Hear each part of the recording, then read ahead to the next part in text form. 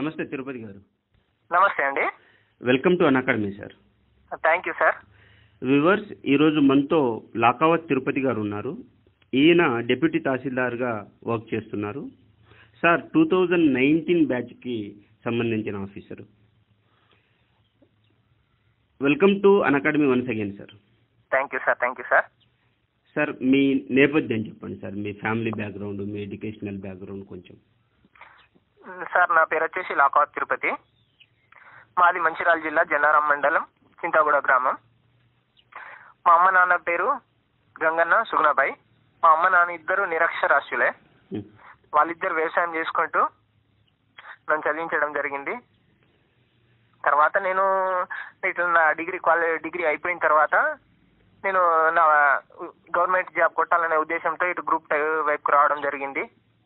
తర్వాత ఈ గ్రూప్ టూలో డిప్యూటీ తహసీల్దార్గా సెలెక్ట్ అయ్యి రెండు వేల పంతొమ్మిదిలో సెలెక్ట్ అవ్వడం జరిగింది. రెండు వేల ఇరవైలో ట్రైనింగ్ స్టార్ట్ అయింది మాది ప్రొబేషనరీ డ్యూటీగా సార్ మీరు ఎన్ని సంవత్సరాలు కష్టపడ్డారు సార్ డెప్యూటీ తహసీల్దార్గా? లేదు అంటే గ్రూప్ టూ క్లియర్ చేయడానికి? సార్ నాది ఫస్ట్ వచ్చేసి నాది స్కూలింగ్ వస్తే నేను అప్ టు టెన్త్ వరకు గవర్నమెంట్ స్కూల్లో చదువుకున్నాను sir. Andhra Pradesh Andhra Pradesh social welfare residential స్కూల్లో ఇప్పుడు తెలంగాణ సోషల్ వెల్ఫేర్ రెసిడెన్షియల్ స్కూల్గా ఉంది అది. తెలంగాణ వచ్చిన తర్వాత. తర్వాత ఇంటర్ వచ్చేసి ఆదిలాబాద్లో ఇంటర్ అయిపోయిన తర్వాత బీటెక్ నేను రంగారెడ్డి జిల్లా చేవెల్ కంప్లీట్ చేయడం జరిగింది. బీటెక్ చేస్తుండటం వల్ల మాది గ్రామీణ నేపథ్యం కాబట్టి ఇంగ్లీష్లో కొంచెం ల్యాక్ ఆఫ్ కమ్యూనికేషన్ వల్ల కొంచెం ఇబ్బంది పడేవాడిని తర్వాత నాకు అనిపించింది ఇటు మన గవర్నమెంట్ సెక్టార్ వైపు వైపుకి వస్తే మనం కూడా మనకు కూడా సెక్యూరిటీ ఉంటది కొంచెం సామాజిక హోదా అనేది ఉంటది. ప్ర- ప్రజలకు కూడా మనం దగ్గర నుండి కొంత సేవ చేయగలిగే అవకాశం ఉంటది. కాబట్టి ఇటు నేను రావడం జరిగింది. ఇటు రావడానికి ముఖ్య కారణం ఏంటంటే నేను బీటెక్ ఫైనల్ ఇయర్లో ఉన్నప్పుడు మా అన్నయ్య వాళ్ళు ఓయి క్యాంపస్లో ఉండేవాళ్ళు. అయితే వాళ్ళ రూమ్కి వెళ్ళినప్పుడు అక్కడ మా అన్నయ్య వాళ్ళ ఫ్రెండ్స్ వాళ్ళ గవర్నమెంట్ జాబ్ ఇక్కడ తెలంగాణ అప్పటికి తెలంగాణ ఏర్పడలేదు. గవర్నమెంట్ జాబ్ కోసం ప్రయత్నిస్తుండేవాళ్ళు ఆ టైంలో ఎక్సైజ్ కానిస్టేబుల్ నోటిఫికేషన్ పడింది. టూ థౌసండ్ ట్వెల్వ్లో పడితే మా అన్నయ్య వాళ్ళు చేసుకోరా బాగుంటది? ఇట్లా గవర్నమెంట్ సెక్టార్ వైపు వస్తాం అనుకుంటున్నావు కదా? ఇప్పుడు. బీటెక్ అయిపోతుంది ఇప్పుడు నోటిఫికేషన్ అయితే ఇది ఉంది.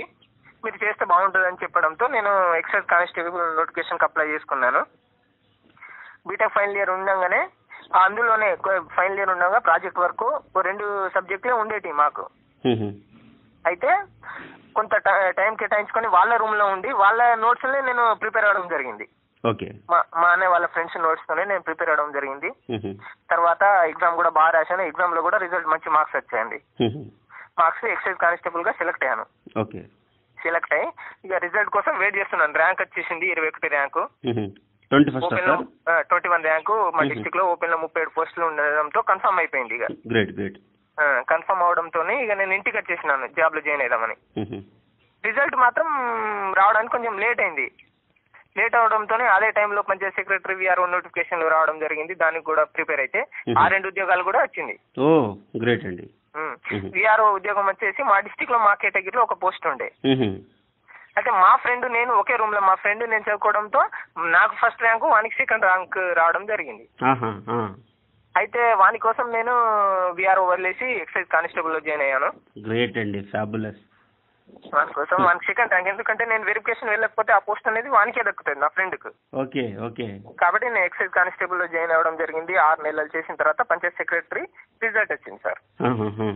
తర్వాత మనకి ఇక్కడ ఈ ఎక్సైజ్ కానిస్టేబుల్ అంటే మనము ఈ కుటుంబ నియంత్రణ Mhm. మద్యము Mhm. వాటిలో ఉంటాము ఈ పంచాయత్ సెక్రటరీ అయితే మనం ఒక గ్రామ పంచాయతీలో ఒక కన్వీనర్ స్థాయి అధికారిగా ఉండి.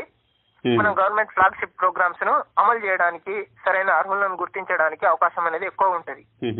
కాబట్టి ఎక్సైజ్ కానిస్టేబుల్ ఉద్యోగం వదిలేసి పంచాయత్ సెక్రటరీలో జాయిన్ అయ్యాను. ఆ తర్వాత కొన్ని రోజులు ఉద్యోగం చేస్తుండగానే గ్రూప్ టూ నోటిఫికేషన్ వస్తుందని పేపర్లో ఇవ్వడము తెలంగాణలో మొట్టమొదటి గ్రూప్ టూ నోటిఫికేషన్ ఎక్కువ పోస్టులతో వస్తుంది. అని పేపర్లో నోటిఫికేషన్ ఇవ్వడం సమాచారం తెలియడంతో నేను లీవ్ పెట్టేసి గ్రూప్ టూ సన్నద్ధత కోసం హైదరాబాద్ వెళ్ళడం జరిగింది. హైదరాబాద్ వెళ్ళి అక్కడ నోటిఫికేషన్ రాలే ఎప్పటికీ. Hmm. ప్రొఫెసర్ జయశంకర్ స్టడీ సర్కిల్లో గ్రూప్ టూ శిక్షణ కోసం శిక్షణ తీసుకున్నా. తీసుకున్న తర్వాత అక్కడ గ్రూప్ టూ నోటిఫికేషన్ రావడం ప్రిపేర్ అవుతున్న సమయంలో మళ్ళీ వాయిదా పడడం గ్రూప్ టూ నోటిఫికేషన్. అయినా కూడా నేను లీవ్లో ఉన్నాను కానీ జాయిన్ అవ్వలేదు వాయిదా పడినా కూడా. ఎందుకంటే మనకు అవకాశం అనేది ఒకటేసారి వస్తుంది. హ్మ్. ఆ అవకాశం వచ్చినప్పుడే మనం అందిపుచ్చుకోవాలని అవకా దీంతో నేను అక్కడ ఉండి హైదరాబాద్లో చదువుకున్నా మళ్ళీ నోటిఫికేషన్ రావడం పెద్ద మొత్తంలో. అట్లా చదువుకోవడం ద్వారా నేను మంచి స్కోర్ చేయగలిగాను. స్కోర్ చేయగలిగి రిజల్ట్ కోసం వెయిటింగ్ చేస్తున్నప్పుడు ఈ కోర్టు కేసుల వల్ల రిజల్ట్ లేట్ అవ్వడము. అలా చూస్తుండడంతో మళ్ళీ పంచాయత్ సెక్రటరీ జాబ్ చేస్తూ జాబ్ కొనసాగించడం జరిగింది సార్. సార్. సో మీరు ఎక్సైజ్ ఎస్ఐగా చేశారు పంచాయత్ సెక్రటరీగా ఎక్సైజ్ కానిస్టేబుల్గా సార్. సార్ ఎక్సైజ్ కానిస్టేబుల్గా వర్క్ చేశారు. అవును సార్. ఓకే గ్రేట్ గ్రేట్ అండి. సో మీరు ఎలా టైం మేనేజ్ చేసుకునేవాళ్ళు సార్? లైక్ వర్క్ చేసేటప్పుడు కూడా చదివే వాళ్ళ లేదు అనుకుంటే ఎలా మేనేజ్ చేసేవాళ్ళు? పంచాయత్ సెక్రటరీ చేసుకునేటప్పుడు మనకు కొంచెం టైం అనేది ఉంటుందండి. ఆ టైం ఒక్కొక్క రోజు వర్క్ని బట్టి. ఒక్కొక్క రోజు time evening morning దొరికేటప్పుడు morning one and half hour. Evening one and half hour అట్లా డైలీ ఓ టూ త్రీ అవర్స్ చదువుకునేవాడిని. ఎందుకంటే గ్రూప్ టూ నోటిఫికేషన్ వస్తుంది మనం సాధించాలి దాంట్లో కూడా మనం కూడా ఉండాలి. అనే ఉద్దేశంతో అప్పుడు కూడా పంచాయత్ సెక్రటరీ ఉద్యోగం చేస్తున్నప్పుడు కూడా చదువుకునేవాడిని మార్నింగ్ ఈవినింగ్.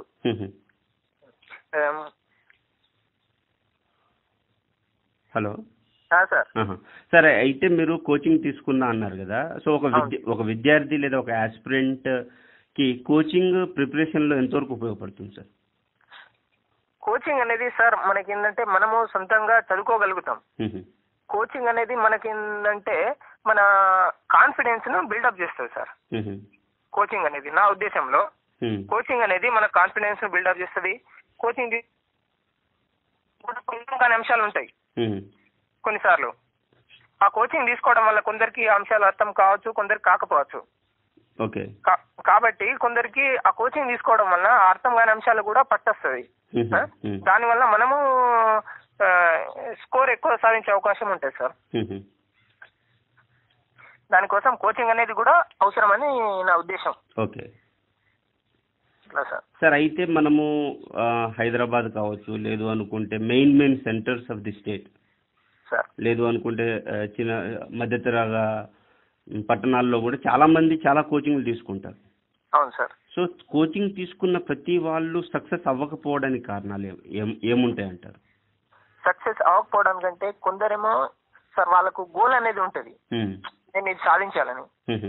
వాళ్ళు కోచింగ్ తీసుకున్నా కొందరు తీసుకోకపోయినా తీసుకోకపోయినా వాళ్ళ గోల్ను దృష్టిలో పెట్టుకుని వాళ్ళు కష్టపడుతూ నిరంతరం శ్రమిస్తూ దానికోసం దాని సాధనకై కష్టపడుతుంటారు సార్. కొందరు కోచింగ్ తీసుకుంటారు అంటే కొందరు కోచింగ్ తీసుకునే వాళ్ళు చిన్న చిన్న మిస్టేక్లు నోటిఫికేషన్ టైంలో నోటిఫికేషన్ వచ్చినా కూడా కొందరు రూమర్స్ తెలియడం వాటి వల్ల వాళ్ళు ఏంటంటే మధ్యలో కొంచెం డిస్టర్బ్ అయ్యి చదువుకోకపోవడం అలాంటివి జరగడం వల్ల కొందరు సక్సెస్ కాకుండా ఉండిపోతారు సార్. ఓకే. సో ఇంకేం కారణాలు ఉంటాయి అంటారు లైక్ సైకలాజికల్ లెవెల్లో లేకపోతే డీవియేట్ అయిన తర్వాత ఎలాంటి ప్రెషర్స్ ఉంటాయి?